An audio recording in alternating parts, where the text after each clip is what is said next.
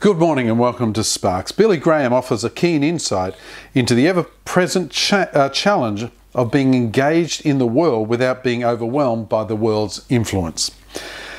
Uh, likening our role in the world to that of the Gulf Stream in the ocean. He observes this Gulf Stream is in the ocean, yet it is not part of it. Believers are in the world, but they must not be absorbed by it and be part of it.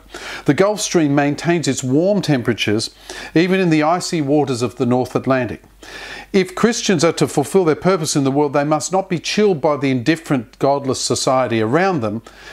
Uh, do you know that palm trees grow in islands off west of Scotland?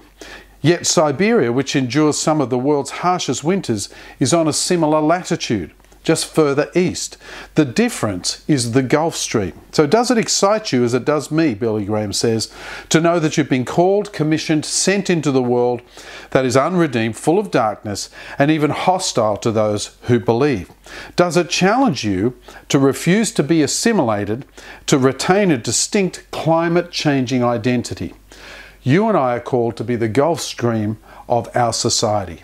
So let's go forth today and, and in the coldness of our society, let's bring the warmth of the Holy Spirit. We'll see you tomorrow on Sparks.